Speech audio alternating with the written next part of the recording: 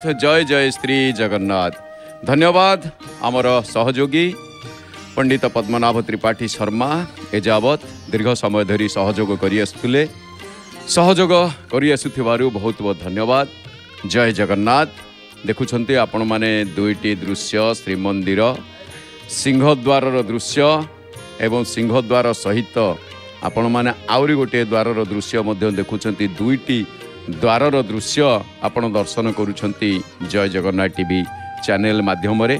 ଅରୁଣ ସ୍ତମ୍ଭ ଦର୍ଶନ କରୁଛନ୍ତି ଏବଂ ସିଂହ ଯାହା ବାଉଁଶ ଗୁଡ଼ିଏ ଯାହା ଭାରା ବନ୍ଧା ହେଇଛି ସେ ବର୍ତ୍ତମାନ କାମ ଆରମ୍ଭ ହେଲା। ଏଇ କାମ ସବୁ ରଙ୍ଗ ଚିତ୍ର କରାଯିବ ରଙ୍ଗ ବେରଙ୍ଗ ରଙ୍ଗ ହେବ। ଯାହା ଆପଣମାନେ ସବୁ ଦର୍ଶନ କରୁଛନ୍ତି ଏବେ ଶ୍ରୀ- ଶ୍ରୀମନ୍ଦିର ସହ। ବଡ଼ ସୌନ୍ଦର୍ଯ୍ୟମୟ ଦର୍ଶନ ଶ୍ରୀମନ୍ଦିର। ଭକ୍ତମାନେ ବିଶେଷ ଭାବରେ ଗହଳ ଚହଳ ନାହିଁ।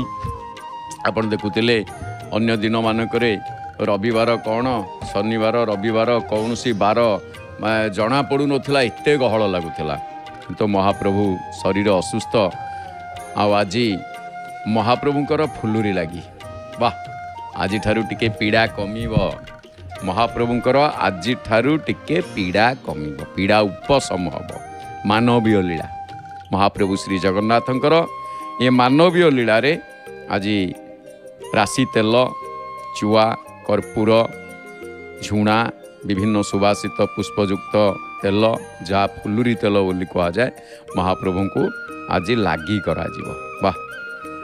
ସୌନ୍ଦର୍ଯ୍ୟମୟ ଠାକୁର ଆମର ବୈଚିତ୍ର୍ୟମୟ ଠାକୁର ସର୍ବରହସ୍ୟମୟ ଠାକୁର ସେଥିପାଇଁ କୁହାଯାଏ ସର୍ବରହସ୍ୟ ପୁରୁଷୋତ୍ତମସ୍ୟ ଦେବା ନ ଜାନାତି କୁତ ମନୁଷ୍ୟ ଯେଉଁଠି ଦେବତାମାନେ ମହାପ୍ରଭୁଙ୍କ ରହସ୍ୟକୁ ଭେଦ କରିପାରିନାହାନ୍ତି ଜାଣିନାହାନ୍ତି ସେଠି ମଣିଷ ବା କ'ଣ କରିବ?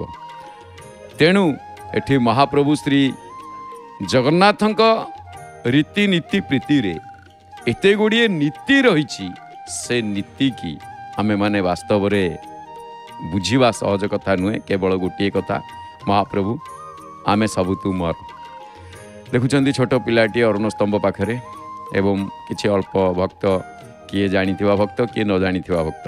କିଏ ଜାଣିଥିବା ଭକ୍ତ ଆସିଛନ୍ତି ମହାପ୍ରଭୁଙ୍କୁ ଆମେ ଯାଉଛୁ ଟିକେ ବୁଲି ଆସିବୁ ଶ୍ରୀମନ୍ଦିର ଭିତରେ ପଟବ୍ରହ୍ମଙ୍କୁ ଦର୍ଶନ କରିକି ଆସିବୁ। ଆଉ ନ ଜାଣିବା ଭକ୍ତ ଆସିଛନ୍ତି ମହାପ୍ରଭୁଙ୍କୁ ଦର୍ଶନ କରିବେ। ମହାପ୍ରଭୁଙ୍କ ଦର୍ଶନ ନାହିଁ ଅନ ଅବସରରେ ଅଛନ୍ତି ମହାପ୍ରଭୁ ହାତ ଧରିଛନ୍ତି ପିଲାଟିର। ଦେଖୁଛନ୍ତି ସେପଟେ ଗୋଟିଏ ପିଲାଟିର ହାତ ଧରିକି ଆସିଛନ୍ତି ଏଇ ପିଲାଟି ଆଡ଼ିକି ପଳେଇ ଆସୁଥିଲା ତା ହାତ ଧରିଲେ। ସିଏ ଶୁଣିବାର ନାହିଁ ଛୋଟ ପିଲା ପରା ଯାହା ବୁଝୁଥିବେ ସେଇଆ ନା। ଆଉ ଯିବୁ କୁଆଡ଼େ? ସିଧା ଟେକି ନେଇକି ଚାଲ। ଛୁଇଁଦେ ହଁ ଛୁଇଁବାକୁ ଦେଖିଲେ ଯାହା ହଉ। ତାକୁ ଧରିକି ତା ମଥାରେ ଅରୁଣ ସ୍ତମ୍ଭକୁ ସ୍ପର୍ଶ କରି ତା ମଥାରେ ହାତ ଲଗେଇ ଦେଉଛନ୍ତି ମା। ଭାବର କଥା ଇଏ। ନିଶ୍ଚିତ ଭାବରେ ଆପଣ ଚିନ୍ତା କରିବେ ମାଆର ମମତା ମାଆର ସ୍ନେହ ସବୁଠାରୁ ଉର୍ଦ୍ଧ୍ୱରେ ଏବଂ ଆଜି ଆପଣମାନେ ଦେଖୁଛନ୍ତି ଗୋଟିଏ ସୁନ୍ଦର ଗାଡ଼ିଟିଏ ମଧ୍ୟ ଲାଗିଛି। ପଶ୍ଚିମ ଦ୍ୱାରର ଦୃଶ୍ୟ ଆପଣ ଦେଖୁଛନ୍ତି। ବ୍ୟାଘ୍ର ଦ୍ୱାର ପୂର୍ବ ଦ୍ୱାର ପଶ୍ଚିମ ଦ୍ୱାର। ପୂର୍ବ ପଶ୍ଚିମ ଏକାଠି। ଏହି ମହାପ୍ରଭୁଙ୍କ ଦର୍ଶନ ତାଙ୍କ ପାଇଁ ପୂର୍ବ କ'ଣ ପଶ୍ଚିମ କ'ଣ ଉତ୍ତର କ'ଣ ଦକ୍ଷିଣ କ'ଣ। ଦୁଇଟି ଦୃଶ୍ୟ ଜୟ ଜଗନ୍ନାଥ ଟିଭି ଚ୍ୟାନେଲ ମାଧ୍ୟମରେ।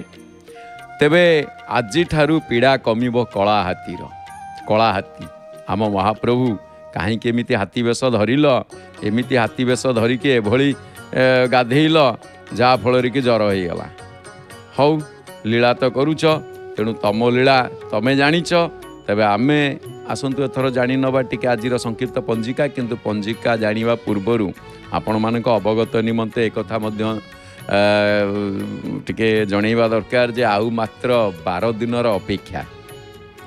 ଧୀରେ ଧୀରେ ଗୋଟିଏ ଗୋଟିଏ ଦିନ କମି କମି ଯାଉଛି ବାର ଦିନର ଅପେକ୍ଷା। ବାର ଦିନର ଅପେକ୍ଷା ପରେ ଆମେ ଦେଖିବା ରଥଯାତ୍ରା କେତେବେଳେ? ନା ଠିକ୍ ଆଷାଢ଼ ମାସ ଶୁକ୍ଳପକ୍ଷ ଦ୍ୱିତୀୟା ଦିନ ଆମେ ରଥଯାତ୍ରା ଦେଖିବା ସିଧା ପ୍ରସାରଣରେ ବିନା ବିଜ୍ଞାପନ ବିରତିରେ କେବଳ ଜୟ ଜଗନ୍ନାଥ ଟିଭିରେ ଆଉ ଘରେ ବସି ନିଜ ଟିଭି ପରଦାରେ ଶ୍ରୀକ୍ଷେତ୍ର ପୁରୀରୁ ପ୍ରତ୍ୟେକ ଦିନ ମହାପ୍ରଭୁ ଶ୍ରୀ ଜଗନ୍ନାଥଙ୍କ ଲାଇଭ୍ ଦର୍ଶନ କରି ନିଜର ଦିନକୁ ଆପଣମାନେ ଧନ୍ୟ ମନେ କରନ୍ତୁ ଏବଂ ମହାପ୍ରଭୁଙ୍କର ବର୍ଷ ସାରା ହେଉଥିବା ସମୟ ଯେତେ ସବୁ ସମୟରେ ଯାହା ସବୁ ଲୀଳାଖେଳା ଚାଲିଛି ସମସ୍ତ ସମୟରେ ସମସ୍ତ ଦିବ୍ୟ ଲୀଳାର ସିଧା ପ୍ରସାରଣ ଆପଣ ଦେଖନ୍ତୁ କେବଳ ଜୟ ଜଗନ୍ନାଥ ଟିଭିରେ। ହଁ ଦେଖିବା ପାଇଁ ଯଦି ଆପଣମାନେ ସେପଟୁ ପଶ୍ଚିମ ଦ୍ୱାର ପଟର ଦୃଶ୍ୟ ଆପଣ ଦେଖୁଛନ୍ତି। ଇଏ କେତେ ସୌନ୍ଦର୍ଯ୍ୟମୟ ଦୃଶ୍ୟ। ଧୀରେ ଧୀରେ ଉପରି ଭାଗର ଦୃଶ୍ୟ ଏଠି ମଧ୍ୟ ସିଂହ କଳସ ଆପଣ ଗୁମୁଟ ପଶ୍ଚିମ ଦ୍ୱାର ଗୁମୁଟ ପାଖରେ ଦେଖୁଛନ୍ତି। ଇଏ ପ୍ରସ୍ତର ମୂର୍ତ୍ତିର ସିଂହ ଇଏ ସିଂହଟିକୁ ଆପଣ ଦେଖୁଛନ୍ତି ପ୍ରସ୍ତର ମୂର୍ତ୍ତି। କାହିଁ ତାକୁ ତ ସେ ତାର ତା ଗଲାଣି ତା ଶରୀର କ୍ଷୀଣ ହୋଇଗଲାଣି ମହାପ୍ରଭୁ। ଅନବସର ଅଛନ୍ତି ବିଚାରା ଶରୀରଟି ସିଂହର ଶରୀରଟି ଯେହେତୁ କଳା ସିଂହ କଳା ହାତୀ ତାଙ୍କୁ ଯାହା କହିଲେ ମଧ୍ୟ ଅତ୍ୟୁକ୍ତି ହେବନି। ଯେତେବେଳେ ଅସୁସ୍ଥ ଅଛନ୍ତି ତେଣୁ ଏଠି ସମସ୍ତେ ମଧ୍ୟ କ୍ଷୀଣ ହୋଇଗଲେଣି। ଖାଦ୍ୟପେୟରେ ମନ ଲାଗୁନି ଶିକାରକୁ ସିଂହ ଆଉ ଯାଉନି। ଏଇଠି ବସିଛି ସେମିତି ପୁରା ଝୁରି ଝୁରି ଲୁଣି ପାଣି ଖାଇକି ତା ଶରୀର ପୁରା କ୍ଷୀଣ ହୋଇ ଆସିଲାଣି। ଆପଣ ଦେଖୁଛନ୍ତି ସିଂହଟିକୁ ପ୍ରସ୍ତରର। ତେବେ ନିଶ୍ଚିତ ଭାବରେ ଆମେ ଅବଗତ ହେବା ଆଜିଠାରୁ କେମିତି କ'ଣ ପୀଡ଼ା କମିବ। ପୁଣି ମୁଖ୍ୟ ଭୂମିକା ରହିଛି ରାଶି ତେଲ ତୈଳ ମର୍ଦ୍ଦନ ଇଏ ମନ୍ଦିରର କେତେ ଗୁଡ଼ିଏ କ୍ଷୁଦ୍ର କ୍ଷୁଦ୍ର ମନ୍ଦିର ଚତୁଃପାର୍ଶ୍ୱରେ ଥିବା ଛୋଟ ଛୋଟ ମନ୍ଦିରକୁ ଆପଣମାନେ ଦେଖୁଛନ୍ତି। ଯେମିତିକି ସୂର୍ଯ୍ୟଙ୍କ ମନ୍ଦିର ଦଧିବାମନ ମନ୍ଦିର ଏମିତି ବିଭିନ୍ନ ମନ୍ଦିର ସହ ଏପଟେ ଗୋଟିଏ ସିଂହ ଇଏ ପୁଣି ଥାଣିରେ ରହିଛି। ସେଇଥିପାଇଁ ତ ଏ କ୍ଷେତ୍ରଟି ସିଂହ କ୍ଷେତ୍ର। ଯେହେତୁ ପୁରୁଷ ସିଂହ ଇଏ ସିଂହ ଦାନ୍ତ ବଡ଼ ବଡ଼ କରି ଚାହିଁଛି। ଇଏ ଉପରୁ ଯଦି କିଏ ସେ କ'ଣ କିଛି ଗଡ଼ବଡ଼ କଲା ସିଧାସଳଖ ଡେଇଁବ। କିନ୍ତୁ ଗୋଟେ ହାତୀ ଉପରେ ସେ ସବାର ରହିଛି। ବୈରାଗ୍ୟ ରୂପକ ସିଂହ କାମନାକୁ ବିଜୟ କରିଛି। ଆହ କି ଦୃଶ୍ୟ! ଦେଖିଲେ ସକାଳୁ ନିଦ ଭାଙ୍ଗିଲାଣି ନା ନାହିଁ ଶୋଇଛନ୍ତି ମ? କି କଥା ଇଏ? ଆମେ ଏଠି ହାତୀ ଉପରେ ସିଂହ ମାଡ଼ି ବସିଛି ଆମେ ଦେଖିଲୁଣି। ନନ୍ଦନକାନନ ଗଲେ ଦେଖିବେ ସିଂହ କିନ୍ତୁ ଏଠି ଦେଖନ୍ତୁ ମୂର୍ତ୍ତିରେ ସିଂହ ପ୍ରସ୍ତରରେ। ସତେ ଯେମିତି ଜୀବନ୍ତ ଅନୁଭବ ହେଉଛି। ଆଉ ଏଠି ସିଂହଦ୍ୱାରରେ ସିଂହ ରାମାନନ୍ଦୀ ତିଲକ ଲଗେଇଛି ଚିତ୍ର କରାଯାଉଛି ରଙ୍ଗ ହେଉଛି। ଏବେ ରଙ୍ଗ ଚାଲିଛି ସିଂହର। ଅରୁଣ ସ୍ତମ୍ଭକୁ ଭକ୍ତମାନେ ମୁଣ୍ଡିଆ ମାରୁଛନ୍ତି ଆପଣ ଦେଖୁଛନ୍ତି। ତେବେ ଶ୍ରୀମନ୍ଦିରର ମନ୍ଦିର ମଧ୍ୟଭାଗରେ ଏ ସିଂହ ଦେଖୁଛନ୍ତି ଆପଣମାନେ। ହାତୀଟି ସମ୍ପୂର୍ଣ୍ଣ ଭାବରେ ଅବଗତ ହେଉନି କିନ୍ତୁ ଏହା ହେଉଛି ହାତୀ ଉପରେ ମାଡ଼ି ବସିଛି। ଇଏ ସିଂହ ରୋହିଣୀ ପାଦୁକା କୁଣ୍ଡ ରଜ ସିଂହ ମାଡ଼ି ବସି ଅଛି ଗଜ ସତେ କିଏ ନେତ୍ର ପବିତ୍ର ହୋଇବ କାକ ପଡ଼ି ହେଲା ଚତୁର୍ଭୁଜ ଏହି କ୍ଷେତ୍ରର ମହାନତା।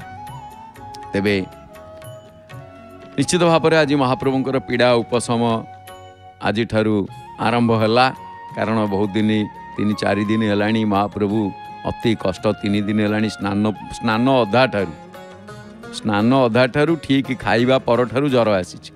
ଖାଇ ଦେଇଛନ୍ତି। ଖାଇସାରିଛନ୍ତି ସେ ଏମିତି ଖାଇଛନ୍ତି ଯେ ଏକାଥରେ ତେର ଦିନ ପରେ ମହାପ୍ରସାଦ ପନ୍ଦର ଭୋଗ ଲାଗି ହେବ ଯା ପନ୍ଦର ଦିନ ପରେ। ପନ୍ଦର ଦିନ ପରେ ଖାଇବେ। ଖାଇବେ ବି କ'ଣ ଯେ? ପନ୍ଦର ଦିନ ଦିନଠାରୁ ପୁଣି ତ ଆହୁରି ରହିଲା ସେ ଖେଚେଡ଼ି ଟିକେ ସକାଳୁ ଧୂପ ଖେଚେଡ଼ି ଟିକେ ଖାଇକିରି ଯିବେ ରଥଯାତ୍ରାରେ ଆଉ ମାତ୍ର ବାର ଦିନ ରହିଲା।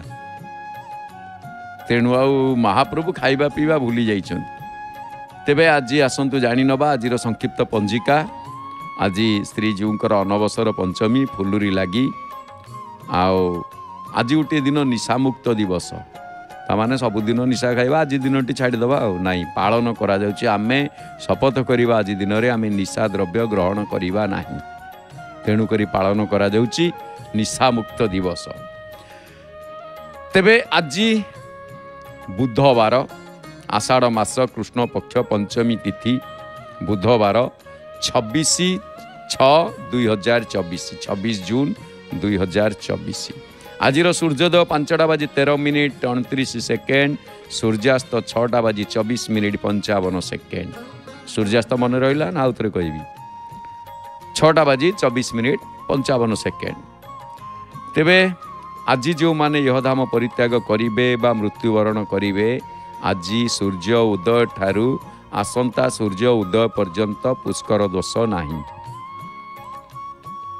ଏବଂ ଆଜି ପଞ୍ଚମୀର ଏକୋଦିଷ୍ଟ ପାର୍ବଣ ଶ୍ରାଦ୍ଧ ଆଜି ବେଲ ଭକ୍ଷଣ ନିଷେଧ ରାତି ନଅଟା ବାଜି ପାଞ୍ଚ ମିନିଟ୍ ପରେ ନିମ ଭକ୍ଷଣ ନିଷେଧ। ବେଲ ବେଲ ପଣା। ତେଣୁ ଆଜି ବେଲ ପଣାକୁ ଟିକେ ବର୍ଜିତ କରନ୍ତୁ। ତେବେ ଆଜିର ଶୁଭ ବେଳା ଉପରେ ଦୃଷ୍ଟିପାତ କଲେ ଆଜି ସାତଟା ବାଜି ଅଣଚାଳିଶ ମିନିଟ୍ ଠାରୁ ଦଶଟା ବାଜି ଏକାବନ ମିନିଟ୍ ମଧ୍ୟରେ ଶୁଭ ବେଳା ପୁନଃ ଗୋଟେ ବାଜି ପନ୍ଦର ମିନିଟ୍ ଠାରୁ ଚାରିଟା ବାଜି ସତେଇଶ ମିନିଟ୍ ମଧ୍ୟରେ ଶୁଭ ବେଳା ଏବଂ ସୂର୍ଯ୍ୟାସ୍ତରୁ ରାତ୍ରି ଦଶଟା ବାଜି ଛବିଶ ମିନିଟ୍ ମଧ୍ୟରେ ପାଇବେ ଶୁଭବେଳା। ପୁନଃ ବାରଟା ବାଜି ପଚାଶ ମିନିଟ୍ ଠାରୁ ଦୁଇଟା ବାଜି ଛବିଶ ମିନିଟ୍ ପର୍ଯ୍ୟନ୍ତ ପାଇବେ ଶୁଭବେଳା।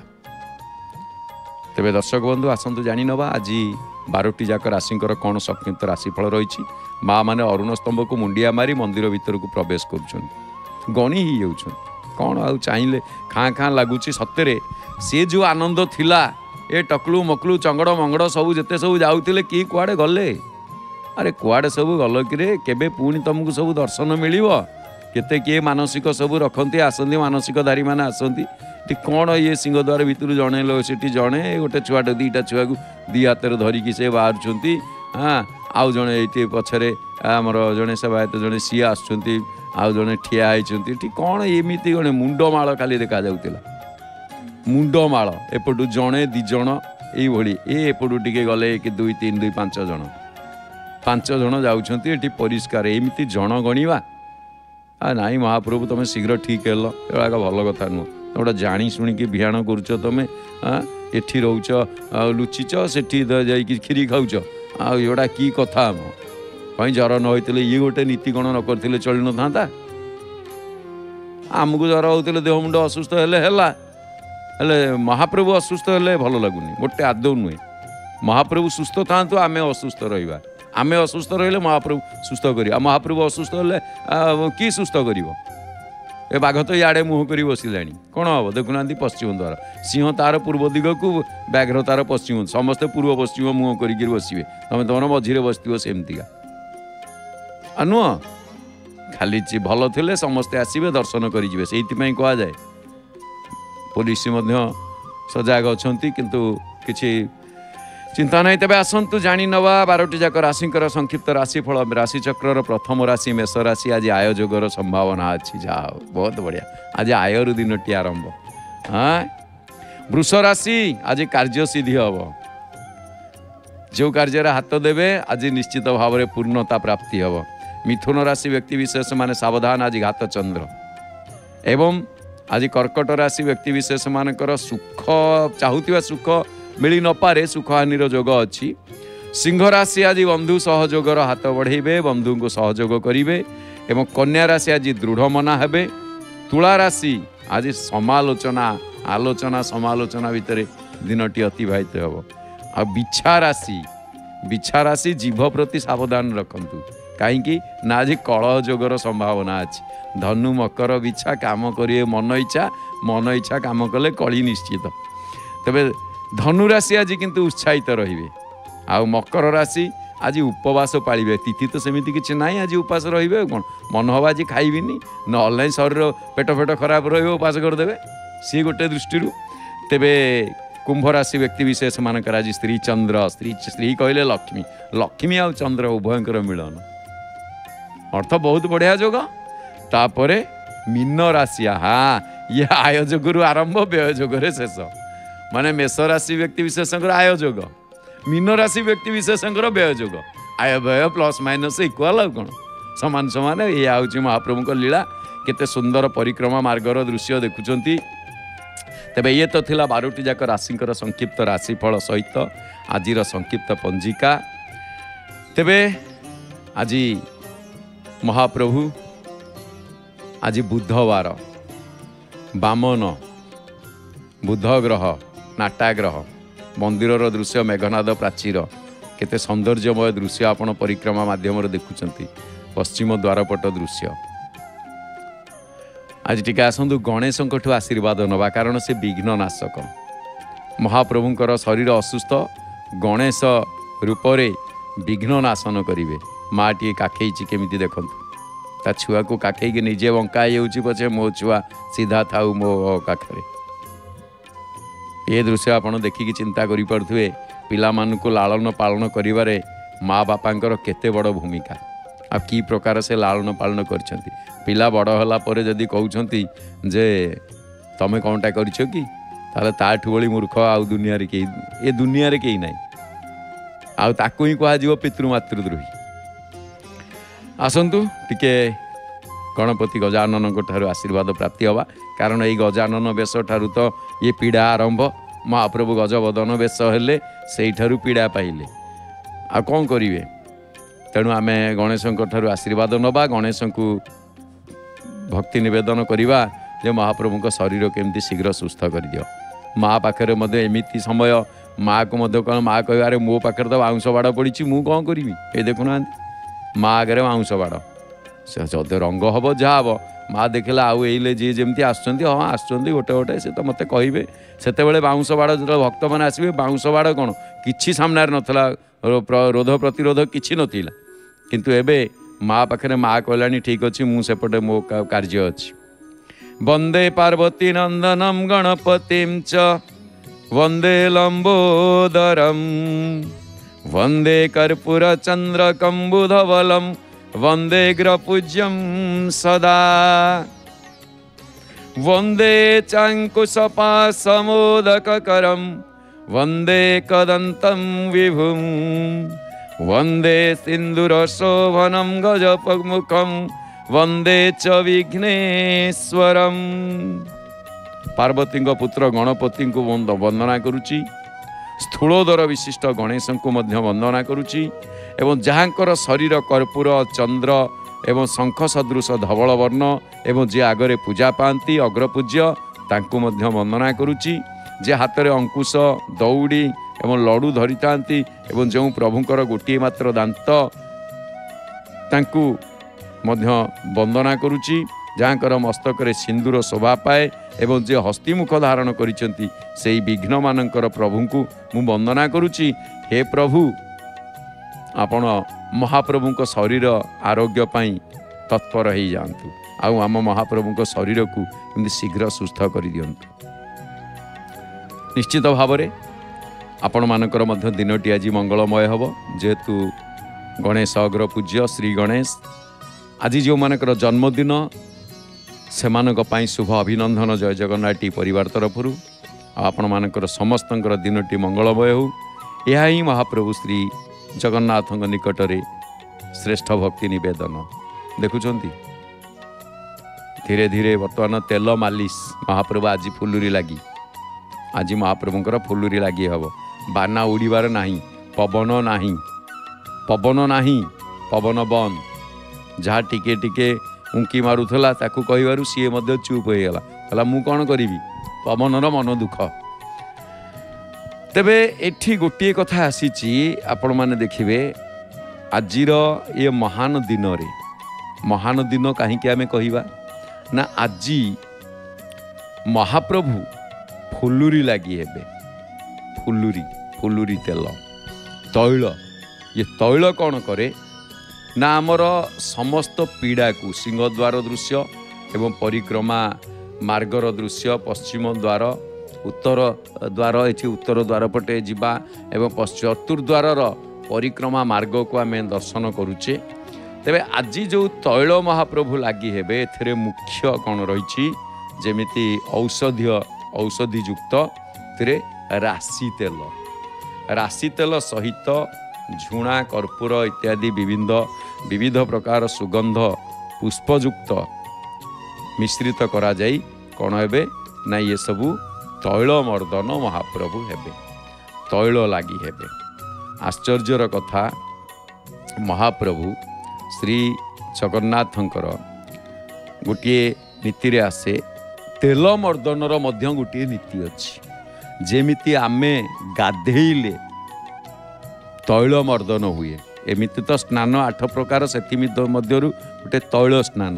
ତାହା ମଧ୍ୟ ଏକ ପ୍ରକାର ମହାପ୍ରଭୁ ସ୍ନାନ କରିବା ପରଠାରୁ ଏଯାବତ୍ ମହାପ୍ରଭୁ ସ୍ନାନ ଆଉ କରିନାହାନ୍ତି। ମହାପ୍ରଭୁ ସ୍ନାନ କରିନାହାନ୍ତି। କାହିଁକି ସ୍ନାନ କରିନାହାନ୍ତି? ନା ଶରୀରରେ ଜ୍ୱର ଅଛି କମ୍ପନ ଅଛି ତେଣୁ ସ୍ନାନ କ'ଣ କରିବେ? ଆଜି କିନ୍ତୁ ତୈଳ ସ୍ନାନ। ତେଣୁ ଆୟୁର୍ବେଦ ଦୃଷ୍ଟିକୋଣରୁ ଯଦି ଆପଣମାନେ ବିଚାର କରିବେ ତାହେଲେ ଏଠି ତେଲର ଉପଯୋଗିତା ଘିଅ ଠାରୁ ମଧ୍ୟ କମ୍ ନୁହେଁ। ତେଲର ଉପଯୋଗିତା ଆପଣ ଦେଖିବେ ତୈଳ ଘିଅକୁ ଖାଦ୍ୟରେ ଗ୍ରହଣ କରାଯାଏ କିନ୍ତୁ ତେଲକୁ ଏ, ଏ, ମର୍ଦ୍ଦନ କରାଯାଏ ଏବଂ ଖାଦ୍ୟରେ ଗ୍ରହଣ କରାଯାଏ ଦୁଇଟି ଯାକ ଜିନିଷ କାହିଁକି ନା ଯେମିତିକି ଶକ୍ତିଶାଳୀ ପୁଷ୍ଟିକର ଉପାଦାନ ଯାହା ଘିଅରେ ମିଳିଥାଏ ତେଲରେ ମଧ୍ୟ ପର୍ଯ୍ୟାପ୍ତ ପରିମାଣରେ ମିଳିଥାଏ। ତେଣୁ ଆଜି ମହାପ୍ରଭୁଙ୍କର ଫୁଲୁରି ଲାଗି। କେବଳ ଏତିକି ନୁହଁ ଆପଣ ଦେଖିବେ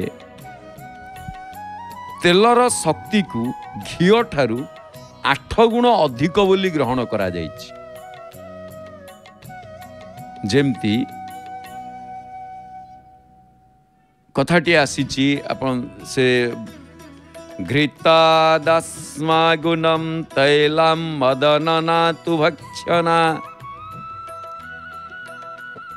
ଏଥିରେ ଏକମାତ୍ର ପାର୍ଥକ୍ୟ କ'ଣ ନା ଘିଅ ଖାଇବା ସମୟରେ ପ୍ରଭାବଶାଳୀ ଆଉ ମସାଜ କରିବା ସମୟରେ ତେଲ ପ୍ରଭାବଶାଳୀ ହେଇଥାଏ।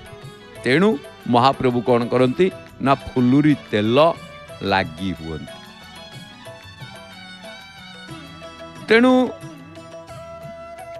ଆଜିର ଏଇ ଯେଉଁ ସମୟ ଅଛି ଏ ତାରି କଳି ଯୁଗ କାଳ କଳି ଯୁଗକୁ ଅ, ମଧ୍ୟ ଦୁଇ ଜଣ ଭକ୍ତ କେମିତି କଥାବାର୍ତ୍ତା ଆସୁଛନ୍ତି ତଥାପି କିଛି ଭକ୍ତ ଏକତ୍ରିତ ହେଲେଣି ରୁଣ୍ଡୀଭୂତ ହେଲେଣି କିଛି କିଛି ଭକ୍ତ ଆପଣ ଦେଖିବାକୁ ପାଉଛନ୍ତି। ସକାଳର ସେ ଭିଡ଼ ନାହିଁ ମଙ୍ଗଳ ଆଳତୀ ଭିଡ଼ ଅବକାଶ ଭିଡ଼ ସେ ଠିଆ ହେଇକି ଲମ୍ବା ଲାଇନ୍ ସେସବୁ ଆଉ ନାହିଁ। କିଛି ଦିନ ନାହିଁ ତାପରେ ଆସିଯିବ। ତେବେ ଏଠି ଆଜିର ଇଏ ଦାରିଦ୍ର୍ୟ ଯୁଗରେ ଯେତେବେଳେ ଶୁଦ୍ଧ ଘିଅ କ୍ଷୀର ଏସବୁର ସମ୍ପୂର୍ଣ୍ଣ ଅଭାବ ଦେଖାଯାଏ ତେଲ ମାଲିସ ଦ୍ୱାରା ଏଠି କ'ଣ ହୁଏ? ଏ ଲୁବ୍ରିକ୍ୟାଣ୍ଟର ବା ଏଠି ଫ୍ୟାଟ୍ର ଅଭାବ ଦୂର ହୁଏ। କାଞ୍ଚି ଅଭିଯାନର ଦୃଶ୍ୟ ଦେଖୁଛନ୍ତି ଉତ୍ତର ଦ୍ୱାର ଏବଂ ପଶ୍ଚିମ ଦ୍ୱାର କୋଣ ମୁଣ୍ଡ ଯେଉଁଠାରେ କି ମାର୍କଣ୍ଡେଶ୍ୱର ସାଇକି ଯିବା ରାସ୍ତା ଇଏ ସେଇ ରାସ୍ତାରେ କାଞ୍ଚି ଅଭିଯାନର ଗୋଟିଏ ଦୃଶ୍ୟ ଆପଣ ଦେଖୁଛନ୍ତି ଚିତ୍ରପତି ମାଧ୍ୟମରେ ପାଣି ଟାଙ୍କି ଉପରେ ପାଣି ଟାଙ୍କି ଉପରେ ଚିତ୍ର ମାଧ୍ୟମରେ କାଞ୍ଚି ଅଭିଯାନ ଦୃଶ୍ୟ ଏ ବିଶାଳ ଟାଙ୍କି ଆପଣ ଦେଖୁଛନ୍ତି ଏକାଠି ଜଳ ସଂରକ୍ଷଣ ଜଳ ସଂଗ୍ରହ ଆଜିକାଲି ତ ଲୋକ ଅଛନ୍ତି ଟ୍ୟାବ୍ ଟିକେ ଖୋଲି ଦେଇଥିବେ ସେ ତାର ଭାସୁଥାଉ ଆଉ ଅନ୍ୟ କିଏ ପାଣି ଟିକେ ନ ପାଉ ତାଙ୍କର ସେ ଚିନ୍ତା ନଥାଏ କାହିଁକି ନା ଆମେ ନିଜେ ନିଜେ ହିଁ ଠିକ୍ ଆଉ ନିଜେ ହିଁ ରହିବା। କିନ୍ତୁ ତା ନୁହେଁ ଜଳର ସଂରକ୍ଷଣ ଗୋଟିଏ ଗୋଟିଏ ବୁନ୍ଦୁ ଜଳ ଟୋପା ଜଳ ଜଳକୁ ଜୀବନର ଅନ୍ୟ ନାମ ଜଳ ଜଳକୁ ଜୀବନ ବୋଲି କୁହାଯାଏ ମଣିଷର ଜୀବନ ରକ୍ଷା କରିଦିଏ। ଗୋଟିଏ ଟୋପା ଜଳ ତେଣୁ ଜଳର ସଂରକ୍ଷଣ ଆବଶ୍ୟକ। ଏ ଦୃଶ୍ୟ ଆପଣ ଦେଖୁଛନ୍ତି। ସାଲ୍ୱ ନରସିଂହ ଦେବ ଆଉ ଗଜପତି ପୁରୁଷୋତ୍ତମ ଦେବଙ୍କର କଥା। ଇଏ ମଧ୍ୟ ଦୃଶ୍ୟ ଗୋଟିଏ ଦେଖୁଛନ୍ତି। ତେଣୁ ଏଠି କାଞ୍ଚି ଅଭିଯାନର ଏ ଦୃଶ୍ୟକୁ ଏଠି ଚିତ୍ରିତ କରାଯାଇଛି। ମହାପ୍ରଭୁ ନିଜେ ଯାଇଥିଲେ ଦକ୍ଷିଣ ଦ୍ୱାର ଦେଖୁଥିଲେ ଘୋଡ଼ା ଦ୍ୱାର ମହାପ୍ରଭୁ ନିଜେ ଯାଇଥିଲେ ଯୁଦ୍ଧ କରିବା ପାଇଁ। ଏମିତି ଠାକୁର କେଉଁଠି ପାଇବେନି। ନିଜେ ଯୁଦ୍ଧ କରିବାକୁ ଯିବା ଭକ୍ତର କଥାରେ। ତେଣୁ ଯେତେବେଳେ ଏ ଦାରିଦ୍ର୍ୟ ଯୁଗରେ ଶୁଦ୍ଧ ଘିଅ ଘିଅ କିଲୋକୁ ବାରଶହ ଟଙ୍କା ଶୁଦ୍ଧ ଘିଅ ବାରଶହ ତେରଶହ ଚଉଦଶହ। ତା ମଧ୍ୟ କେତେ ଶୁଦ୍ଧ ସେ କଥା। ଆମେ ଘରେ ଆଣିବା ଧରିନୁ ତ ଆମେ ଘରେ ଘିଅ ବନେଇବା। କ୍ଷୀର ଆବଶ୍ୟକ ଶୁଦ୍ଧ କ୍ଷୀର ମଧ୍ୟ ମିଳୁନି। ତେଣୁ ତେଲ ମାଲିସ ଆଉ ତୈଳର ବ୍ୟବହାର ଟିକେ ଅଧିକ। ତଥାପି ତେଲ କ'ଣ ଶସ୍ତା ହେଇଛି। କି ତେବେ ଲୋକଙ୍କର ସ୍ୱାସ୍ଥ୍ୟ ଗୋଟେ ଉନ୍ନତ ଅବସ୍ଥା ଏବଂ କୁଞ୍ଚନ ଭଳି ସମସ୍ୟା ହାସଲ କରିପାରିବ କିଏ ସେ? ନା ତେଲ। ଯେମିତି ଆପଣ ଦେଖିବେ ରିଙ୍ଗ ୱାର୍ମ ଫୁଲା ପିମ୍ପଲ ଏକ୍ଜିମା ଚର୍ମ ରୋଗ ବା ଶୁଷ୍କତା ଏବଂ ଉତ୍ତାପ ଏସବୁରୁ ସମ୍ପୂର୍ଣ୍ଣ ଆରୋଗ୍ୟ ହୋଇପାରିବ କେଉଁଥିରେ? ନା ତେଲରେ। ଯାହା ଆପଣମାନେ ଦେଖୁ ମହାପ୍ରଭୁ ଶହେ ଆଠ ଗରା ଜଳରେ ମହାପ୍ରଭୁ ସ୍ନାନ କଲେ। ଆଗରୁ ନାବ କେଳି ଏବଂ ଭିତର ଚନ୍ଦନ ବାହାର ଚନ୍ଦନ ଏଠି ବାହାର ହାୱା ଇଏ ସବୁ ଖାଇ ଜଳରେ ବୁଡ଼ି ରହି ଚନ୍ଦନ ଯାତ୍ରାରେ ଚନ୍ଦନ ଶୀତଳର ପ୍ରତୀକ ଏ ସବୁ ଲଗେଇ ଶେଷକୁ ଶହେ ଆଠ ଗରା ଜଳରେ ସ୍ନାନ କଲେ। ଏହାଦ୍ୱାରା କ'ଣ ହେଲା? ମହାପ୍ରଭୁଙ୍କର ଶରୀରର ଯେଉଁ ଉତ୍ତାପ ବୃଦ୍ଧି ପାଇଲା ଏବଂ ଚର୍ମ ଗୁଡ଼ିକ ଶୁଷ୍କତା ଅନୁଭବ ହେଲା। ଏଥିପାଇଁ କ'ଣ ହେଲା? ନା ମହାପ୍ରଭୁଙ୍କର ଏଠି ତୈଳର ଆବଶ୍ୟକତା ପଡ଼ିଲା। ଯାହା ଆଜି ଫୁଲୁରି ଲାଗି ଫୁଲୁରି ଲାଗି ଅର୍ଥ ଏହା ଫୁଲୁରି ଏହା ଗୋଟେ ତେଲ। ଆୟୁର୍ବେଦିକ ପଦ୍ଧତିରେ ବହୁ ଉପଚାରରେ ତାହା ପ୍ରସ୍ତୁତି କରାଯାଇଛି। ତେଣୁ ଏଠି କଲେ କ'ଣ ହେବ? ଆପଣମାନେ ଦେଖିବେ ମହାପ୍ରଭୁ ଯେତେବେଳେ ପହଣ୍ଡି କରି ନେଇ ଆସିଛନ୍ତି ଧରିଥାନ୍ତି ଆହ ମହାପ୍ରଭୁ କି ଲହୁଣୀ ଭଳିଆ ପୁଚି ପୁଚିଆ ଲାଗୁଛନ୍ତି। କିନ୍ତୁ ବର୍ତ୍ତମାନ ତ ପାଣି ଢଳିକି ସେ ବସ୍ତ୍ର ସବୁ ଗଲା। ଆଉ ଶରୀର ଚର୍ମ ଶୁଷ୍କ ଆସିଗଲା। ତେଣୁ ତୈଳ ମସାଜର ପ୍ରକୃତ ରହସ୍ୟ କ'ଣ ନା ସେ ତ୍ୱଚାକୁ କୋମଳ କରିଥାଏ ଏବଂ ଶିରାଗୁଡ଼ିକୁ ସୁସ୍ଥ କରିଥାଏ ଏବଂ ରକ୍ତକୁ ଗତିଶୀଳ କରିଥାଏ। ତେଲ। ତେଣୁ ଚର୍ମର କେଶ ଯେତେ ପରିଷ୍କାର ସେତେ ସହଜରେ ବାୟୁ ବିନିମୟ କାର୍ଯ୍ୟ କରିବାକୁ ମଧ୍ୟ ତୈଳ ସକ୍ଷମ ହୋଇଥାଏ।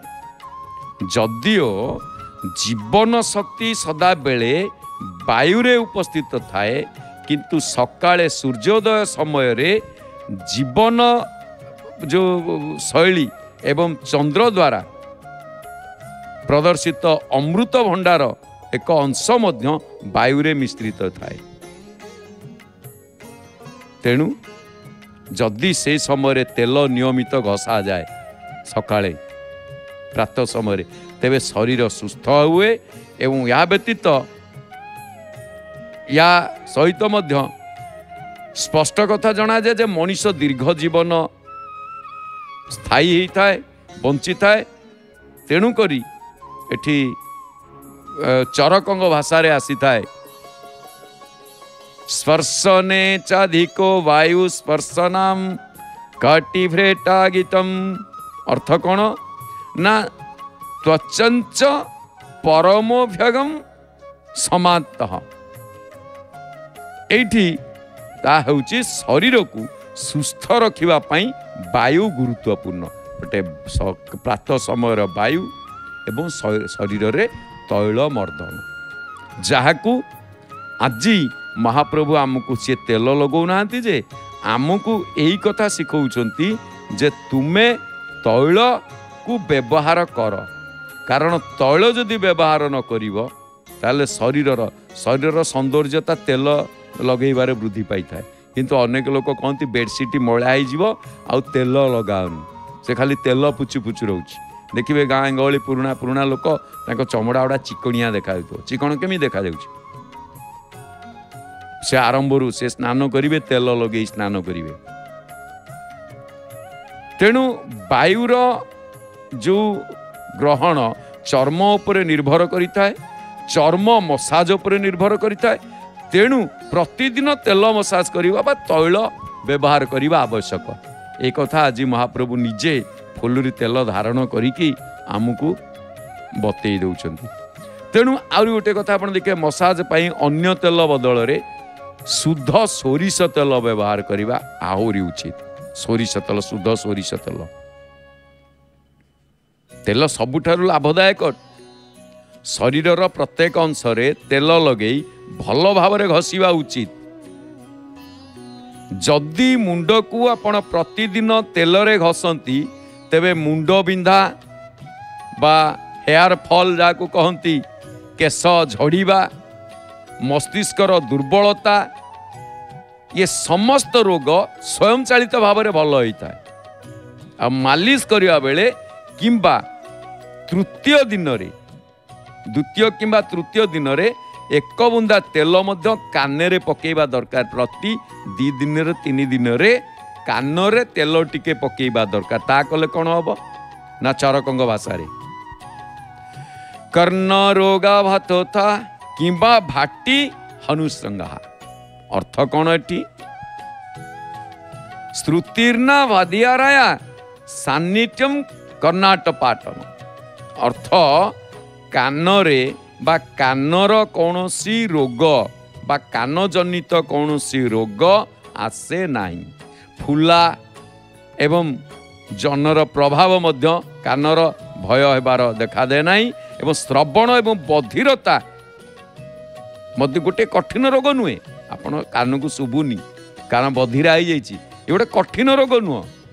କାରଣ କାନ ତଳେ ଥିବା ଯେଉଁ ଅଞ୍ଚଳକୁ ଆଙ୍ଗୁଠି ସହିତ ଧୀରେ ଧୀରେ ମାଲିସ କରିବା ଉଚିତ କାରଣ ସ୍ନାୟୁ ଗୁଡ଼ିକର କଠିନ ସ୍ଥାନ ହୋଇଥିବାରୁ।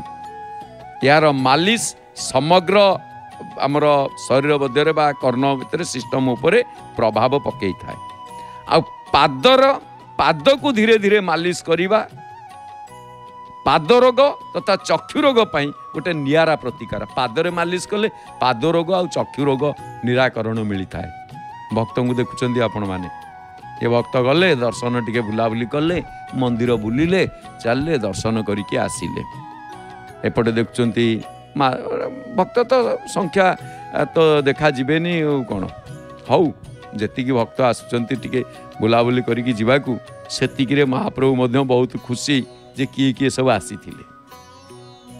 ତେବେ ଯେଉଁମାନେ ଏସବୁ ତୈଳକୁ ବ୍ୟବହାର କରନ୍ତି ସେମାନଙ୍କର ଦୃଷ୍ଟିକୋଣ କଦାପି ଦୁର୍ବଳ ହୁଏ ନାହିଁ। ଆମେ ତ ଆଜିକାଲି ସବୁ ବିଭିନ୍ନ ପ୍ରକାର ଦାମୀ ଦାମୀ ସାମ୍ପୁ ହଁ, ତା ଦେହରେ ଦାମୀ ସାବୁନ ଦାମୀ ସାମ୍ପୁ ସାବୁନ ବ୍ୟବହାର କର। ସାବୁନ ଦରକାର ଶରୀର ଉଁ, ଉଁ, ମଇଳା ସଫା କରିବା ପାଇଁ। କିନ୍ତୁ ତୈଳ ମର୍ଦ୍ଦନ ନିହାତି ଆବଶ୍ୟକ। ସାମ୍ପୁ କଣ୍ଡିସନର କେତେ କ'ଣ ସବୁ ସେ ରହିଲାଣି। ତେଣୁ ଏସବୁର ଯେଉଁ ନୂତନତ୍ୱରେ ଆମେ ପହଞ୍ଚୁଛେ ଆମେ ନିଜ ଶରୀରକୁ କିଛି ସମୟ ପାଇଁ ସୁନ୍ଦର କରିବାକୁ ଯାଇ ଦୀର୍ଘ ଜୀବନ ପାଇଁ ଆମେ ଅସୁନ୍ଦର କରିଦେଉଛେ। ଆଉ ଯାହାର ନିଦର୍ଶନ ରୋଗରୁ ଉପଶମ ହେବା ପାଇଁ ମହାପ୍ରଭୁଙ୍କର ଆଜି ଫୁଲୁରି ଲାଗି। ତେଣୁ ଆଜିଠାରୁ ମହାପ୍ରଭୁ କ'ଣ କରିବେ? ନା ଧୀରେ ଧୀରେ ତାଙ୍କର ପୀଡ଼ା କମିବ। କଳା ହାତୀ ଇଏ ହାତୀ ଭଳିଆ ଚେହେରା ମହାପ୍ରଭୁଙ୍କର ହାତୀ ଭଳିଆ ଚେହେରା ନା?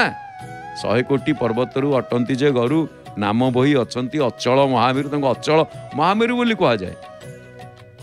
ତେଣୁ ଗୋଟିଏ କଥା ଆସିଛି ତୈଳ ଆପଣମାନେ ଯଦି ଲଗାଉଛନ୍ତି ତାହେଲେ ରବିବାର ଏବଂ ମଙ୍ଗଳବାର ତେଲ ଲଗାଇବା ପାଇଁ ନିଷେଧ କରାଯାଇଛି। କାହିଁକି? ନା ତେଲ ମର୍ଦ୍ଦନର ପ୍ରକୃତ ଅର୍ଥ ହାସଲ କରିପାରିବେ ଯଦି ଆପଣ ଏହାକୁ ଧାର୍ମିକ ଭାବରେ ପରିଚାଳନା କରିବେ। ଯଦି ୟାକୁ ଏଇ କଥାଟିକୁ ଠିକ୍ ଭାବରେ ଅଣ୍ଡରଷ୍ଟାଣ୍ଡିଂ କରିନପାରି ଅନ୍ଧ ଭାବରେ ତେଲ ଘଷିବା ଆରମ୍ଭ କରନ୍ତି ତେବେ ଏହା କୁଣ୍ଡେଇ ହେବା ଅପେକ୍ଷା ଆ, ଖରାପ ରୋଗ ମଧ୍ୟ ସୃଷ୍ଟି କରିଥାଏ କାରଣ ଯେତିକି କ୍ରିୟା ଅଛି ସେତିକି ପ୍ରତିକ୍ରିୟା ମଧ୍ୟ ରହିଛି ଏଥିରେ କ'ଣ ହୁଏ ନା ଯେତେବେଳେ ଆପଣମାନେ ଦେଖିବେ ଇଏ ତେଲ ଅଧିକ ମାତ୍ରାରେ ଆ, ରବି ମଙ୍ଗଳ ଏସବୁ ଲଗେଇବାର କଥା ଆସେ। ଉଦାହରଣ ଭାବରେ ବିଚାର କରନ୍ତୁ ଯେମିତିକି ଗୁରୁ ହାନି ସୁଜେ ଦୁଃଖା ସାନା ସୁଖମ। ତାହା ହେଉଛି ରବିବାର ଦିନ ତେଲ ଘଷିବା ଠାରୁ ଉତ୍ତାପ ବା ଉତ୍ତାପ ସମ୍ବନ୍ଧୀୟ ରୋଗ ଏବଂ ସେମାନଙ୍କୁ ଶାରୀରିକ ଏବଂ ସୌନ୍ଦର୍ଯ୍ୟ ଦିଆଯାଏ। ମୃତ୍ୟୁ ମଙ୍ଗଳ ଗ୍ରହକୁ ଦିଆଯାଏ ଧନ ପ୍ରାପ୍ତି ବୁଧ ଗ୍ରହକୁ ଦିଆଯାଏ ବୃହସ୍ପତିଙ୍କୁ କ୍ଷତି ଦିଆଯାଏ ଶୁକ୍ରଙ୍କୁ ଅ, ଯାହାକି ଦୁଃଖ ଦିଆଯାଏ ଏବଂ ଶନିଙ୍କୁ ସୁଖ ଦିଆଯାଏ ତେଲ ଲଗେଇବା ଦ୍ୱାରା ତେଣୁ ଏ ପଦରେ ରବି ମଙ୍ଗଳ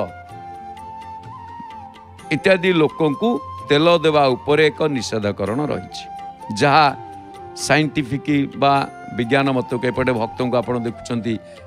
କ'ଣ ଧୀରେ ଧୀରେ ଆସୁଛନ୍ତି ଜଣେ କେବଳ ସେବାୟତ ଜଣେ ଧୀରେ ଧୀରେ ବା କେହି ଜଣେ ସ୍ଥାନୀୟ ବାସିନ୍ଦା ପୁଣି ଧୀରେ ଧୀରେ ଆସୁଛନ୍ତି ଆପଣ ଦେଖୁଛନ୍ତି। ଜଣେ ବ୍ୟାଗ୍ ଧରିକି ଭାଇ ବ୍ୟାଗ୍ରେ କ'ଣ ନେଇ ଚେକିଂ ତ ହେଇଯାଇଛି? ଆଉ ବ୍ୟାଗ୍ରେ କିନ୍ତୁ ମାଙ୍କଡ଼ ଭିଡ଼ି ନେବେ ଦେଖିକି ଏତିକି ବେଳେ ମଉସା ଜଣେ କିନ୍ତୁ ଭଲ ବ୍ୟାଗ୍ ଧରିଛନ୍ତି। ମଉସା ବ୍ୟାଗ୍ରେ ଅଧିକ ଜିନିଷ ଯିବ। ଆମର ଇଏ ଡିଜାଇନ୍ ଏଠି ଜଣେ ଭାଇ ଦେଖନ୍ତୁ ପିଠୁ ବ୍ୟାଗ୍ଟେ ପକେଇଛନ୍ତି। ଆହା ଏହାକୁ ତ କୁହାଯାଏ ଏଇ ମହାପ୍ରଭୁଙ୍କର ବିଚିତ୍ର। ଆଉ ଜଣେ ତାଙ୍କ ଚାଲିକି ଦେଖ କିନ୍ତୁ ମହାପ୍ରଭୁ ଜଣଙ୍କର ପାଦକୁ ଟିକେ ଛୋଟ କରିଦେଇଛନ୍ତି ବା ଯାହା ବି ହଉ କୌଣସି କାରଣବଶତଃ। କିନ୍ତୁ ମହାପ୍ରଭୁଙ୍କୁ ସେ ଭଲ ଦର୍ଶନ କରିବେ ପ୍ରତ୍ୟେକ ମୁହୂର୍ତ୍ତରେ ଯେତେବେଳେ ଆସିବେ। ତେଣୁ ଏଠି ଜ୍ଞାନୀ ଏ କ- କଥାକୁ ଯଦି ଆମେ ଦେଖିବା ସାଧାରଣ ଲୋକମାନେ ଏହାକୁ ଗୋଟିଏ ଅଦରକାରୀ ବାହାନା ବୋଲି କହିବା ଆରମ୍ଭ କରନ୍ତି। ଏବଂ ସମ୍ପୂର୍ଣ୍ଣ ଭାବରେ ଅଣଦେଖା କରନ୍ତି ତୈଳକୁ। କିନ୍ତୁ କିଛି ଗ୍ରହଣ ନ କରି କିମ୍ବା ଜାଣିଶୁଣି ଏହାକୁ ଅଣଦେଖା କରି ସେଇ ଜିନିଷର ଗୁଣ ଏବଂ ପ୍ରଭାବ କେବେ ନଷ୍ଟ ହୋଇପାରିବ ନାହିଁ। ଧତୁରା ଗୋଟେ ବିଷାକ୍ତ। ଆଉ ଯଦି ଜଣେ ବ୍ୟକ୍ତି ଖାଇଯାଏ ତେବେ ସିଏ ମୃତ୍ୟୁବରଣ କରେ ଧତୁରା। ଗୋଟେ ପିଲା ଜାଣି ଶୁଣିବାକୁ ଖାଇଲା ଏବଂ ଅନ୍ୟ ନିରୀହ ଯୁବକ ଅବିଶ୍ୱାସ ହେତୁ ଜାଣିବା ସତ୍ତ୍ୱେ ମଧ୍ୟ ଏହାକୁ ଖାଇଲା। ତେବେ ଏ ପରିସ୍ଥିତିରେ ଧତୁରାର ହତ୍ୟା ଶକ୍ତି ଖରାପ ହେବ କି? ନା ସେ ହତାଶ ହେବନି। କାରଣ ଏଥିରେ ଚିନ୍ତା କରିବାର କିଛି ନାହିଁ ୟାର ପ୍ରଭାବ ନିଶ୍ଚିତ ପଡ଼ିବ। କିଏ ଜାଣିକି ଖାଉ ବା ନ ଜାଣିକି ଖାଉ ତାର ପ୍ରଭାବ ତାର କାର୍ଯ୍ୟ ସେ କରିବ। ଏ ଦ୍ୱାର ଆପଣ ଦେଖୁଛନ୍ତି ଉତ୍ତର ଦ୍ୱାରପଟର ଦୃଶ୍ୟ ଭକ୍ତମାନେ ଧୀରେ ଧୀରେ ଡଷ୍ଟବିନ୍ ନେଇକି ଭାଇ ଏତେ ଆଉ ପୁରା ଫାଙ୍କା ବଡ଼ ତେଜରେ ଯାଉଛନ୍ତି କିଛି ଫାଙ୍କା ଅଛି ଯେଉଁଠି ଯାହା ଅଳିଆ ତକ ପକାଇଦେଲେ ପୁଣି ନେଇ ଜାଗା ଜାଗାରେ ଥୋଇଲେ କିଏ କେଉଁଠି ଜରି ଚକୋଲେଟ୍ ଜରି ବିଭିନ୍ନ ପ୍ରକାର ଯିଏ ଯାହା ନିମେ ସେଗୁଡ଼ିକ ସବୁ ସେଇ ଡଷ୍ଟବିନ୍ରେ ପକାଇବା ପାଇଁ ଅନୁରୋଧ। କାରଣ ଇଆଡ଼େ ସାଡ଼େ ପକାଇକି ଅଳିଆ ଆବର୍ଜନା କରିବା ଉଚିତ ନୁହେଁ। ଆମେ ପଶ୍ଚିମ ଦ୍ୱାର ପଟେ ରହିଛେ ଇଏ ପଶ୍ଚିମ ଦ୍ୱାର ଯେଉଁ ପଶ୍ଚିମ ଦ୍ୱାର ମହାପ୍ରଭୁଙ୍କର ତ୍ୟାଗର ଦ୍ୱାର ଭକ୍ତମାନେ ଟିକେ ପଶ୍ଚିମ ଦ୍ୱାର ପଟେ କାରଣ ଏବେ ତ ଚାରି ଦ୍ୱାର ପଟେ ପ୍ରବେଶ କରୁ ପୂର୍ବ ଦ୍ୱାର ବାଟେ ଯାଉଥିଲେ ଏବେ ଉତ୍ତର ପଶ୍ଚିମ ଆଉ ଏବେ ଯିବା ପାଇଁ କିଛି ଅସୁବିଧା ନାହିଁ ଏବେ ଯେଉଁ ଦ୍ୱାର ବାଟେ ଯେମିତି ଯିବେ ଆଉ ଭିଡ଼ ନାହିଁ କି ଲମ୍ବା ଲାଇନ୍ ନାହିଁ ତେଣୁ ଯଦି ଗୋଟିଏ କଥା ଦେଖିବେ ଧାର୍ମିକ ନିୟମ ସମ୍ବନ୍ଧରେ ସମାନ ନିୟମ ପ୍ରଯୁଜ୍ୟ। ଯଦି ଆମେ କୌଣସି ନିୟମର ବାସ୍ତବତାକୁ ବୁଝିପାରୁନାହିଁ ତାହେଲେ ଏହାକୁ ଅନୁସରଣ କରିବା ଆମେ ବନ୍ଦ କରିଦେଉ। ତେବେ ଏହାର ନିଶ୍ଚିତ ପ୍ରଭାବ ମଧ୍ୟ ପଡ଼େ। ଦୁନିଆରେ ଯେକୌଣସି ସ୍ଥାନରେ ରବିବାର ସୂର୍ଯ୍ୟ ସହ ଜଡ଼ିତ ଦିନ କୁହାଯାଏ। ରବିବାର ସୂର୍ଯ୍ୟଙ୍କ ବାର। ଏହାକୁ ପର୍ଟିକୁଲାର କୌଣସି ନିର୍ଦ୍ଦିଷ୍ଟ ବ୍ୟକ୍ତିଙ୍କ ଅ, ନାମରେ କୁହାଯାଏ ନାହିଁ। କେବଳ ୟାକୁ ସୂର୍ଯ୍ୟଙ୍କ ନାମରେ କୁହାଯାଏ। ପୃଥିବୀ ଠାରୁ ଲକ୍ଷ ଲକ୍ଷ ବର୍ଗ ମାଇଲ ଦୂରରେ ଥିବା ଅଗ୍ନି ବଲ୍ ଯାହା ସୂର୍ଯ୍ୟଙ୍କ। ତେବେ ଆପଣମାନେ ଦେଖୁଛନ୍ତି ପଶ୍ଚିମ ଦ୍ୱାରର ଦୃଶ୍ୟ। ଆଉ ବାର ଦିନର ଅପେକ୍ଷା ମଧ୍ୟ ବିନା ବିଜ୍ଞାପନ ବିରତିରେ କେବଳ ଜୟ ଜଗନ୍ନାଥ ଟିଭିରେ ଆମେ ଦର୍ଶନ କରିବା ମହାପ୍ରଭୁଙ୍କର ଘୋଷଯାତ୍ରା। ଆଜି ଚତୁର୍ଥ ଅନବସର ପଟ୍ଟବ୍ରହ୍ମ ଆମେ ଦର୍ଶନ କରୁଛେ ମହାପ୍ରଭୁ ଶ୍ରୀ ପଟ୍ଟବ୍ରହ୍ମଙ୍କୁ। ପଟ୍ଟବ୍ରହ୍ମଙ୍କର ଆରମ୍ଭ ହେଲା ମଙ୍ଗଳ ଆଳତୀର କାର୍ଯ୍ୟକ୍ରମ। ନାହିଁ କି? ହଉ ପଟ୍ଟବ୍ରହ୍ମ ଗୋଟିଏ ମାଳ ଖସିଛି। ଆଜି ଯେଉଁମାନେ ଦେଖୁଛନ୍ତି ଆଜି ଅହଭାଗ୍ୟ ଆପଣଙ୍କର ଗୋଟିଏ ମାଳ ଖସିଛି ଆପଣମାନଙ୍କ ପାଇଁ। ମହାପ୍ରଭୁ ନାରାୟଣ ଆଜି ମାଳ ଗୋଟିଏ ଖସେଇଛନ୍ତି। ଯେଉଁ ମାଳ କି ଆପଣମାନେ ସେଇଠି ଥାଉ ପ୍ରାପ୍ତି ନ ହୁଅନ୍ତୁ କିନ୍ତୁ ତାର ଦର୍ଶନରେ ନିଶ୍ଚିତ ଭାବରେ ଆପଣମାନଙ୍କର ମୁକ୍ତି। ଆଜି ପ୍ରତ୍ୟେକ କାର୍ଯ୍ୟ ମଙ୍ଗଳମୟ ହେବ। ଆଜି ଯେଉଁ ଦେଖୁଛନ୍ତି ମାଳଟି ଖସିଛି। ମହାପ୍ରଭୁ ଜାଣି ଶୁଣିକି ଭକ୍ତମାନଙ୍କ କଲ୍ୟାଣ ନିମନ୍ତେ ଏ ଶୁଭ ସଂକେତ। ଆଜିଠାରୁ ମହାପ୍ରଭୁ ଟିକେ ସ୍ୱାସ୍ଥ୍ୟ ତାଙ୍କର ନିଶ୍ଚିତ ଭାବରେ ଆଗକୁ ଅଗ୍ରଗତି ହେବ। ତେଣୁ ଏଇଠି ସ- ମହାପ୍ରଭୁ ଶଙ୍ଖ ଚକ୍ର ଗଦା ଧାରଣ କରିଛନ୍ତି ସତ୍ୟନାରାୟଣଂ ବନ୍ଦେ ଶୁକ୍ଳବର୍ଣ୍ଣଂ ଚତୁର୍ଭୁଜಂ ଶଙ୍ଖ ଚକ୍ର ଗଦା ପଦ୍ମ ବନମାଲା ବିଭୂଷିତಂ ସତ୍ୟନାରାୟଣ ବନ୍ଦେ ସତ୍ୟନାରାୟଣಂ ଦେବಂ ବନ୍ଦୋହಂ କାମଦಂ ବିଭୁಂ ନୀଳାୟା ରଚିତಂ ଯେନ ତସ୍ମୈ ନିତ୍ୟಂ ନମୋ ନମଃ ଯେ ଧବଳ ବର୍ଣ୍ଣ ଚାରି ହସ୍ତ ବିଶିଷ୍ଟ ଯେ ଶଙ୍ଖ ଚକ୍ର ଗଦା ପଦ୍ମ ଏବଂ ବନମାଳାରେ ପରିହିତ ସେହି ସତ୍ୟନାରାୟଣଙ୍କୁ ପ୍ରାତଃ ସମୟରେ ପ୍ରଣାମ। ମହାପ୍ରଭୁଙ୍କୁ ପ୍ରଣାମ ଜଣେଇବା। ସତ୍ୟନାରାୟଣ ନାରାୟଣ ଭଗବାନଙ୍କୁ ଆମେ ଦର୍ଶନ କରୁଛେ। ତମେ ହିଁ ସତ୍ୟ। ମହାପ୍ରଭୁ ଶ୍ରୀ ଜଗନ୍ନାଥଙ୍କ ଦର୍ଶନରେ ଯିଏ ଜଗନ୍ନାଥ ସିଏ ନାରାୟଣ ସବୁ ହିଁ ସେ ନିଜେ। ଏଥିରେ ଗୋଟିଏ କଥା ଆସେ ସବୁ ହିଁ ସେ ନିଜେ। କାରଣ ତାଙ୍କ ବ୍ୟତୀତ ଏ ସଂସାରରେ କେହି ନାହିଁ ତେଣୁ ଆଜି ଫୁଲୁରି ତେଲର ମହାପ୍ରଭୁଙ୍କୁ ଆଜି ଲାଗି ଆଉ ଯାହା ଫଳରେ କି ତୈଳ ଦ୍ୱାରା ଅନେକ ପ୍ରକାର ଯେମିତି ଗାଧେଇଲା ବେଳକୁ ନିଶ୍ଚିତ ଭାବରେ ତୈଳର ଆବଶ୍ୟକ ପଡ଼ିଥାଏ। ଆଜି ମହାପ୍ରଭୁ ଫୁଲୁରି ତେଲ ଯାହା ଶରୀରର ଉପଶମ ପାଇଁ ଆଜି ପୀଡ଼ା ନିଶ୍ଚିତ ଭାବରେ ଉପଶମ ହେବ। ଏହି କଥାକୁ ସିଧା ପ୍ରସାରଣକୁ ଆଗକୁ ଆଗେଇ ନେବା ପାଇଁ ଅନୁରୋଧ କରିବି ଆମ ଗହଣରେ ଅଛନ୍ତି ପଣ୍ଡିତ ସୌମ୍ୟ ରଞ୍ଜନ ପଣ୍ଡା ସିଧା ପ୍ରସାରଣ ଆଗକୁ ଆଗେଇ ନେବେ ଜୟ ଜୟ ଶ୍ରୀ ଜଗନ୍ନାଥ ଜୟ ଜୟ ଶ୍ରୀ ଜଗନ୍ନାଥ ଜୟ ଜୟ ଶ୍ରୀ